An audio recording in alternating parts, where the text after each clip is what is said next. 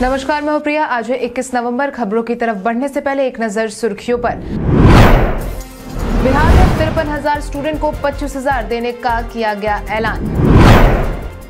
तेईस से 30 नवंबर तक लागू होगा अनलॉक नौ बिहार में इन पदों पर अब होगी सीधी बहाली। बिहार में ट्रेनिंग कर चुके एएनएम अभ्यर्थियों के लिए खुशखबरी। बिहार में अगले साल से सौर ऊर्जा से होगा बिजली का उत्पादन। अब चले बढ़ते हैं बिहार की 25 बड़ी खबरों की ओर विस्तार से।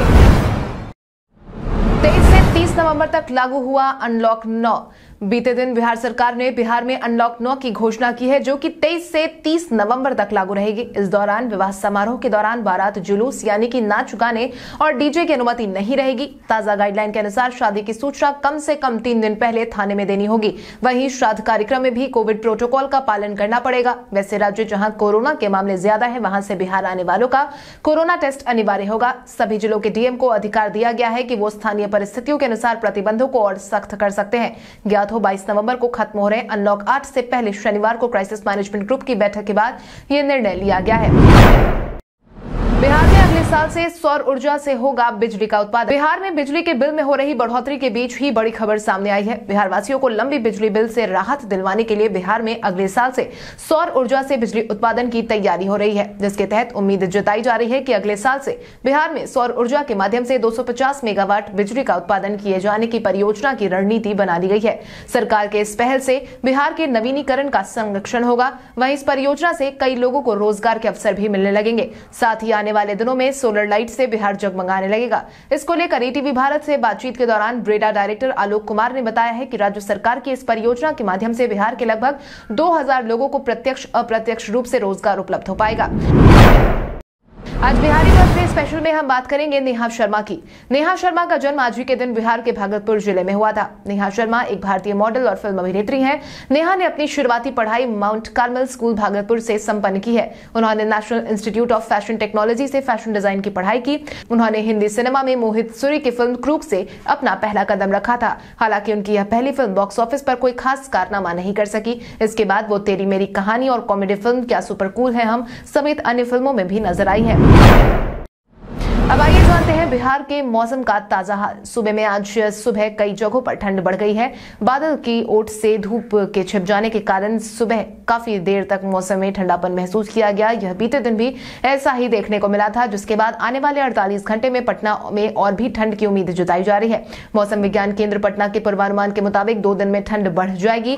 मौसम वैज्ञानिक की माने तो अरब सागर के ऊपरी हिस्से में निम्न हवा के दबाव की वजह से वहाँ से विस्तारित बादलों का प्रभाव देश के मैदानी हिस्से से होते हुए बिहार तक पहुँच रहा है। इसके प्रभाव से पटना, गया, बेगूसराय सहित बिहार के सभी हिस्से में आसमान पर बादल छाए हुए हैं। इस दौरान पाँच से नौ किलोमीटर प्रति घंटे की रफ्तार से रुक रुक करके हवाएँ चल रही हैं, जिससे दिन और रात में सर्दी बढ़ गई है।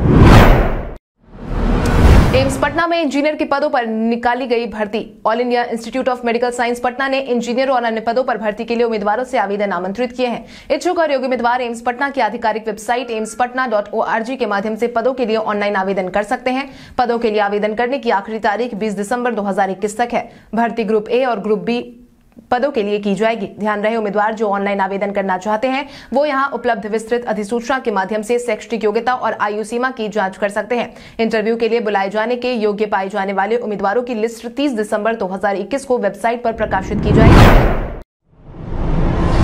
राजगीर में आपको देखने को मिलेगा बहुत कुछ खास। राजगीर बिहार के धार्मिक स्थलों की सूची में शामिल एक प्रमुख पर्यटन स्थल है। ये शहर अपनी खूबसूरत वादी, पहाड़ियों, घने हरे भरे जंगलों, झरने और गुफाओं के लिए फ़ेमस है। यहाँ के प्रमुख पर्यटन स्थलों में शांति स्तूप, मखदूम कुंड बिम्बिसार की जेल, वीरियातन संग्रहालय, साइक्लोपियन, दीवार वेनुवन गृधाकुटा सोन भंडार, सप्तपर्णी गुफा शामिल है। इसके अलावा यहाँ मनियार मठ, कुंडलपुर तपोधर्मा मंदिर Hiuen Tsang Memorial Hall, Sariputra का स्तूप, अजात शत्रु किला, पांडु पोखर घूमने लायक है, जगहों में शामिल है। वहीं जोरासंघ का अखाड़ा, चैरियट ट्रैक हॉट स्प्रिंग्स और घोड़ा कटोरा झील भी दर्शनीय है। बिहार में तिरपन हज़ार स्टूडेंट को पच्चीस हज़ार देने का किया गया ऐलान। बिहार में स्नातक पास तिरपन हज़ार छह सौ छात्राओं को प्रोत्साहन राशि के लिए शिक्षा विभाग के 134 करोड़ रुपए के प्रस्ताव को वित्त विभाग से हरी झंडी मिल गई है। बताया जा रहा है कि जल्द ही प्रोत्साहन राशि इन छात्राओं के बैंक खाते में भेज दी जाएगी। प्रोत्साहन राशि सरकार के साथ ही वित्त रहित मान्यता प्राप्त कॉलेज से 2018 के बाद स्नातक पास छात्राओं को दी जाएगी। वहीं वीर कुंवर सिंह, जयप्रकाश नारायण और मगध विश्वविद्यालय की लापरवाही के कारण तीनों विश्वविद्यालय के मान्यता प्राप्त कॉलेजों की छात्राओं का सत्यापन नहीं हो सका है। बिहार में इन पदों पर अब होगी सीधी बहाली। बिहार में शिक्षकों की बहाली का मुद्दा हमेशा से विवादों में रहा है। हालाँकि इन सब के बीच प्रदेश के राज्यकीकृत और परियोजना कन्या उच्च माध्यमिक विद्यालयों में प्रधान अध्यापकों के पदों पर सीधी बहाली करने जा रही है। इसको लेकर बिहार माध्यमिक शिक्षा कार्यालय ने सभी अड़तीस जिलों से राज्य एकीकृत और परियोजना कन्या उच्च माध्यमिक विद्यालयों के प्रधानाध्यापकों के पदों की रिक्तियाँ 31 दिसंबर तक मांगी है। रिक्तियाँ आने के बाद सीधी नियुक्ति के लिए बिहार लोक सेवा आयोग को सूची सौंपी जाएगी। इसको लेकर माध्यमिक शिक्षा निदेशक मनोज कुमार ने सारी जानकारी साझा कर दी और कहा है कि इकतीस दिसंबर तक रिक्तियाँ उपलब्ध करवाई जाए और रिक्तियों के फॉर्मेट में मुहैया करवाई जाए। बहाली परीक्षा से सहमत छात्रों ने ओएमआर की मांगी कार्बन कॉपी आगामी 26 दिसंबर को बिहार दरोगा सार्जेंट बहाली के लिए पीटी की परीक्षा है। ऐसे में विवादों में फंसी दरोगा बहाली परीक्षा को लेकर अभ्यर्थी अभी से ही सहमे हुए हैं। यही कारण है कि बहाली का हिस्सा बनने वाले अभ्यर्थी बार बार पारदर्शिता की मांग कर रहे हैं। मिली जानकारी के अनुसार अब कैंडिडेट्स की मांग है की इस बार ओएमआर शीट की कार्बन कॉपी और प्रश्नों के बुकलेट एग्ज़ाम खत्म होने के बाद परीक्षार्थियों को दे दिए जाने चाहिए। इतना ही नहीं, अभ्यर्थियों की मांग ये भी की जा रही है की आंसर की जारी किया जाना चाहिए और रिज़ल्ट प्रकाशन के साथ ही कट ऑफ़ और सभी परीक्षार्थियों का मार्क्स जारी किया जाना चाहिए। ट्रेनिंग कर चुके एएनएम अभ्यर्थियों के लिए खुशखबरी। बिहार के सरकारी अस्पतालों की चिकित्सा सेवा को आधुनिक और बेहतर बनाने का काम तेज़ी से हो रहा है। इसको लेकर आठ महीने में राज्य के सरकारी अस्पतालों में बीस हज़ार एएनएम की बहाली होगी। इसकी प्रक्रिया चल रही है। इसके साथ ही बिहार में डॉक्टरों की भी भर्ती प्रक्रिया चल रही है। ये बातें स्वास्थ्य मंत्री मंगल पांडे बाढ़ ने भुवनेश्वरी चौक के पास स्थित पवन अस्पताल ट्रॉमा सेंटर का उद्घाटन करने के दौरान कही। इसको लेकर उन्होंने कहा कि निजी अस्पतालों को भी सरकार बढ़ावा दे रही है, ताकि स्वास्थ्य सेवाएँ सहज रूप में जरूरतमंद मरीजों को हर जगह मिल सके। सरकारी चिकित्सा सेवाओं की क्षमता में लगातार बढ़ोतरी की जा रही है। बिहार में अब आप पोस्टमैन से भी जमा करवा सकेंगे होल्डिंग टैक्स, बिजली और टेलीफोन बिल। वर्तमान समय में आपको बिजली bill, telephone bill, holding tax आदि जमा करने के लिए कार्यालय के चक्कर लगाने पड़ते हैं। लेकिन आने वाले समय में ऐसा नहीं होने वाला है, क्योंकि डाक विभाग इसके लिए जल्द ही नई सुविधा की शुरुआत करने जा रही है। इसके अनुसार पोस्टमैन अब पत्र बांटने के अलावा घरों में जाकर होल्डिंग टैक्स, बिजली और टेलीफोन बिल भी जमा करवाने का काम करेंगे। जानकारी के अनुसार विभाग की तरफ़ से इस पर काम चल रहा है। हालाँकि इसके एवज में पोस्टमैन को घर आने का चार्ज देना होगा। इसके लिए दस रुपए से लेकर पच्चीस रुपए तक खर्च करने पड़ेंगे। अब इस निगम के ज़रिए होगा बालू खनन। बिहार में बालू खनन को लेकर लगातार चर्चाएँ हो रही हैं और हाल ही में सुप्रीम कोर्ट के आदेश के बाद कई जिलों में खनन शुरू करने की तैयारी भी तेज है। इसी बीच बिहार में बालू खनन को लेकर एक और बड़ी जानकारी निकल करके सामने आई है, जिसके तहत बिहार के खनन मंत्री जनक राम की तरफ़ से दी गई जानकारी के अनुसार बिहार में बालू खनन का मामला सुप्रीम कोर्ट में लंबित होने की वजह से बिहार में खनन कार्य बाधित था, लेकिन अब धीरे धीरे स्थितियाँ सामान्य होने की तरफ़ है। अब खनन निगम के ज़रिए बालू का उत्खनन कराया जाएगा। इसके लिए नए सिरे से सर्वे का काम भी किया जाएगा। आपकी जानकारी के लिए आपको बता दें कि लंबे समय से बिहार में बालू उत्खनन पर रोक लगी थी। केंद्र सरकार के वार्षिक स्वच्छता सर्वेक्षण में बिहार के दो शहरों का नाम शामिल। राष्ट्रपति रामनाथ कोविंद ने बीते दिन केंद्र सरकार के वार्षिक सर्वेक्षण की रिपोर्ट में अव्वल आने वाले शहरों को सम्मानित किया है। दरअसल केंद्र सरकार के वार्षिक सर्वेक्षण रिपोर्ट की घोषणा बीते दिन हुई है, जिससे अपने पाँच साल के रिकॉर्ड को कायम करते हुए इंदौर पहले स्थान पर रहा। वहीं बिहार के लिए गर्व की बात यह रही कि इस सूची में मुंगेर को दूसरा और पटना को तीसरा स्थान मिला है। राष्ट्रपति ने स्वच्छता पुरस्कार विजेता शहरों की अच्छी प्रथाओं और चलन को अपनाए जाने की बात भी कही। अमिताभ बच्चन के साथ नज़र आएँगे सुपर थर्टी के संस्थापक आनंद कुमार। आनंद कुमार, वो नाम जिनको आज किसी भी परिचय की ज़रूरत नहीं है, क्योंकि उन्होंने निस्वार्थ इतने बच्चों की ज़िंदगी सवारी है, जिनकी हम और आप कल्पना भी नहीं कर सकते। यही कारण है कि आनंद कुमार जहाँ भी जाते हैं, लोग उन्हें सुनने के लिए बेताब हो जाते हैं। और मंच केबीसी का हो तो बात ही कुछ और है, क्योंकि जल्द ही सुपर थर्टी के संस्थापक आनंद कुमार केबीसी के मंच पर अमिताभ बच्चन के साथ नज़र आने वाले हैं। मिली जानकारी के अनुसार आनंद कुमार 24 और छब्बीस नवंबर को केबीसी में फिर एक बार एक्सपर्ट के रूप में दिखेंगे। खास बात यह है कि यह पहला मौका नहीं है जब आनंद कुमार केबीसी के मंच पर आए हैं।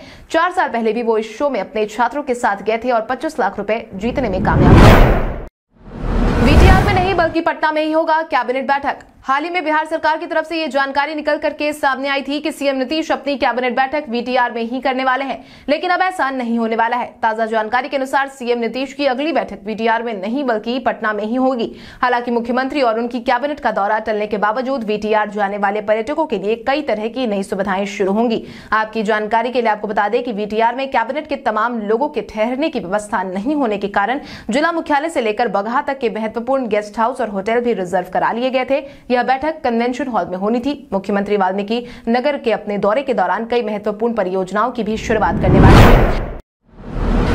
सभी विश्वविद्यालयों और कॉलेज की ऑनलाइन होगी मॉनिटरिंग बिहार के तमाम विश्वविद्यालयों और अंगीभूत कॉलेज समेत अन्य उच्च शिक्षण संस्थानों में वित्तीय प्रबंधन की ऑनलाइन मॉनिटरिंग की जाएगी। इसको लेकर शिक्षा मंत्री विजय कुमार चौधरी ने बीते दिन अनुग्रह नारायण सिन्हा सामाजिक अध्ययन संस्थान में आयोजित तकनीकी कार्यशाला में रूसा मॉनिटरिंग पोर्टल को लॉन्च करने का काम किया है। कार्यशाला में सभी कुल सचिव और प्राचार्य समेत अन्य अधिकारी शामिल हुए हैं। इस दौरान शिक्षा मंत्री विजय कुमार चौधरी ने पोर्टल पर शिक्षण संस्थानों की वित्तीय प्रबंधन की जानकारी को सार्वजनिक करने पर ज़ोर दिया है। साथ ही कहा है कि सरकार का यह बड़ा फैसला है कि वित्तीय प्रबंधन में पूरी पारदर्शिता बरती जाए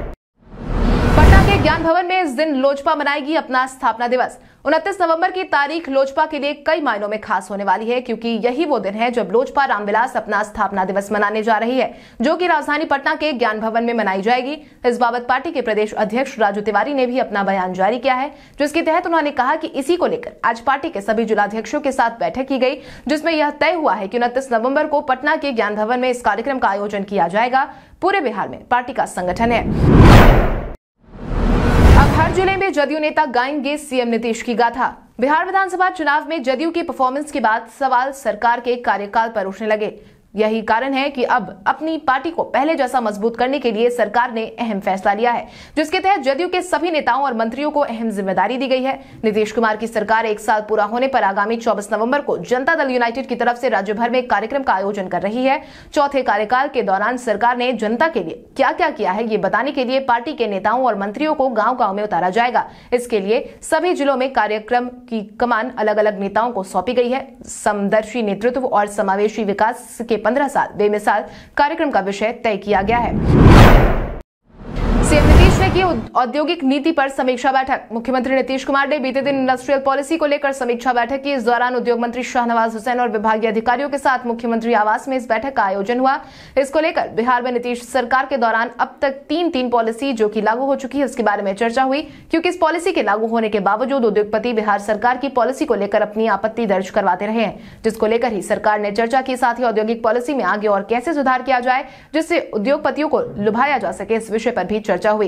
कुल मिलाकर उद्योगों को बिहार में आकर्षित करने की रणनीति को लेकर बीते दिन की बैठक कई मायनों में अहम मानी गई। शराबबंदी को लेकर बिहार के वाहन मालिक देंगे हलफनामा। बिहार में पूर्ण शराबबंदी लागू है, हालाँकि इसके बावजूद भी अवैध शराब का कारोबार लगातार हो रहा है। यही कारण है कि अब बिहार सरकार शराबबंदी मामले को लेकर किसी को भी बख्शने के मूड में नज़र नहीं आ रही है। इसी को लेकर बिहार सरकार छब्बीस नवंबर से बसों पर जागरूकता अभियान चलाने वाली है। इस अभियान के तहत गाड़ी मालिक और ड्राइवर को शपथ दिलाया जाएगा की वो गाड़ी में शराब की तस्करी नहीं होने देंगे और कभी भी शराब का सेवन नहीं करेंगे। इसके अलावा बसों में सफ़र के दौरान यात्रियों को शराबबंदी के फ़ायदे और शराब पीने से होने वाले नुकसान को गीत संगीत के ज़रिए बताया जाएगा। इसके साथ ही सभी सरकारी बसों में शराबबंदी से संबंधित स्लोगन भी लिखे जाएँगे। भारत के इतिहास में आज की तारीख कई कारणों से दर्ज। आज़ादी के बाद उन्नीस सौ सैंतालीस में देश में पहली बार डाक टिकट जारी किया गया। एक प्रस्ताव लाकर शिक्षक दिवस को उन्नीस सौ छप्पन में स्वीकृति दी गई थी। भारत चीन सीमा विवाद के दौरान चीन ने उन्नीस सौ बासठ में संघर्ष विराम का ऐलान किया। केरल के थुम्बा क्षेत्र में उन्नीस में रॉकेट छोड़े जाने के साथ ही भारत का अंतरिक्ष कार्यक्रम शुरू हुआ। प्रधानमंत्री डॉक्टर मनमोहन सिंह ने 2008 में वैश्विक मंदी के बावजूद भारत की आर्थिक विकास दर आठ प्रतिशत रहने की संभावना व्यक्त की है। भारत और चीन ने 2006 में नागरिक परमाणु ऊर्जा के क्षेत्र में साझा सहयोग बढ़ाने का फैसला किया। प्रसिद्ध राजस्थानी कवि और स्वतंत्रता सेनानी केसरी सिंह बारघट का जन्म अठारह सौ बहत्तर में आज के दिन हुआ। हिंदी के प्रमुख यशस्वी कथाकर ज्ञान रंजन का जन्म उन्नीस सौ इकतीस में आज के दिन हुआ था। भारतीय विज्ञान चंद्रशेखर वेंकट रामन का निधन उन्नीस सौ सत्तर में आज के दिन हुआ था। अब आइए जानते हैं सराफा बाज़ार और पेट्रोल डीजल के क्या थे भाव। अगर हम सराफा बाज़ार की बात करें तो सोने का भाव 20 नवंबर को 22 कैरेट के लिए प्रति 10 ग्राम सैंतालीस हज़ार एक सौ पचास रुपए था। वहीं 24 कैरेट के लिए प्रति 10 ग्राम पचास हज़ार चार सौ अस्सी रुपए था। इसके साथ ही अगर हम चांदी की बात करें तो चांदी का भाव प्रति किलो पैंसठ हज़ार छह सौ रुपए था। इसके साथ ही राजधानी पटना में पेट्रोल की कीमत एक सौ पाँच दशमलव नौ शून्य रुपए प्रति लीटर और डीजल के दाम इक्यानवे दशमलव शून्य नौ रुपए प्रति लीटर थे। के खिलाफ आखिर क्यों जर्सी पर टेप चिपका कर उतरे थे ऋषभ पंत? पंत न्यूजीलैंड की पारी के दौरान विकेट कीपिंग के लिए उतरे थे, तब उनकी जर्सी पर एक टेप लगा हुआ था। पंत की टेप वाली जर्सी की फ़ोटो अब काफ़ी ज़्यादा वायरल हो रही है। चलिए आपको बताते हैं कि आखिर पंत ने जर्सी पर टेप क्यों लगाया? दरअसल पंत इस मैच में टी वर्ल्ड कप वाली टीम इंडिया की जर्सी पहनकर खेलने उतर गए थे। इस जर्सी पर दाई तरफ़ टी ट्वेंटी वर्ल्ड कप का लोगो बना हुआ था जिसे छुपाने के लिए पंत को इस पर टेप लगाना पड़ा। बीच में मैच के दौरान उन्होंने इस पर हाफ़ स्वेटर पहन लिया था, जिसके बाद उनका यह टेप नज़र नहीं आ रहा था। घर बैठे आधार कार्ड में अपडेट करें नया मोबाइल नंबर। अगर आपके आधार कार्ड में कुछ गलत हो गया है या आपके आधार में कोई दिए गए नंबर को बदल दिया गया है तो आप इस आसान स्टेप्स को फॉलो करके आसानी से अपडेट कर सकते हैं। अपने आधार कार्ड पर अपना फ़ोन नंबर अपडेट करने के लिए सबसे पहले UIDAI वेब पोर्टल ए पर जाए। वहाँ फ़ोन नंबर जोड़े, जिसे आप अपडेट करना चाहते हैं। आपको दिए गए बॉक्स में सुरक्षा उद्देश्यों के लिए एक कैप्चा कोड करना होगा। आपको ओटीपी भेजे गए ऑप्शन पर क्लिक करना होगा और अपने फ़ोन नंबर पर भेजे गए ओटीपी को दर्ज करना होगा। आधार में फ़ोन नंबर अपडेट करने के लिए मोबाइल नंबर चुने। सभी आवश्यक डिटेल्स भरे। आप क्या अपडेट करना चाहते हैं। ऑप्शन का चयन करना सुनिश्चित करें। एक नया पेज दिखाई देगा और आपको एक कैप्शन कोड दर्ज करना होगा। मोबाइल नंबर पर एक ओटीपी भेजा जाएगा। ओटीपी को वेरीफाई करें और सेव एंड प्रोसीड ऑप्शन पर क्लिक करें। के युवाओं ने फ़िल्म मेकिंग में फिर से लहराया परचम। बिहार और प्रतिभा दोनों एक दूसरे के पूरक है। यही कारण है कि समय समय पर क्षेत्र, चाहे जो भी हो, बिहारियों का बोलबाला देखने को मिलता ही है। और ये खबर सुनकर आप भी यही कहेंगे। बिहार कृषि विश्वविद्यालय के मीडिया सेंटर द्वारा निर्मित फ़िल्म उम्मीद ने राष्ट्रीय स्तर पर पहचान बनाने में सफलता हासिल की है। सबसे खास बात यह है कि इस फ़िल्म का अंतिम सूची के लिए चयन पांचवी राष्ट्रीय फ़िल्म फेस्टिवल अवार्ड के लिए हो गया है। इस फ़िल्म को नॉन फिक्शन श्रेणी में चुना गया है। इसको लेकर मीडिया सेंटर के प्रभारी पदाधिकारी डॉक्टर एस पाटिल ने जानकारी साझा की है। साथ ही उन्होंने बताया कि विश्वविद्यालय को यह अवार्ड 25 नवंबर को हैदराबाद में होने वाले फ़िल्म फेस्टिवल में दिया जाएगा। कल हमारे द्वारा पूछे गए सवाल का जवाब आप में से बहुत सारे यूज़र ने हमें कमेंट करके दिया था। उसके लिए आपका बहुत बहुत धन्यवाद। आप में से जिन यूज़र का कमेंट हमें अच्छा लगा है, उनके नाम है मनीष मोहरा, गौतम कुमार, नुन्नू कुमार, बबीता यादव, पंकज कुमार दास, शंकर मुखिया, गौतम कुमार, सिंह, सोनू कुमार, नीतीश कुमार, राजीव कुमार विकास कुमार, दिव्यांशु कुमारी, विक्रम कुमार, रितेश कुमार यादव, पिंटू राज माहियानंद। इसके अलावा हमारी टीम को और भी लोगों के जवाब अच्छे लगे हैं, मगर समय के अभाव के कारण हम उनका नाम नहीं ले पाए। लेकिन आप हमारे सवालों का जवाब देते रहे हम कल आपका नाम लेने की पूरी कोशिश करेंगे। तो चलिए बढ़ते हैं आज के सवाल की, और आज का सवाल कुछ इस प्रकार है।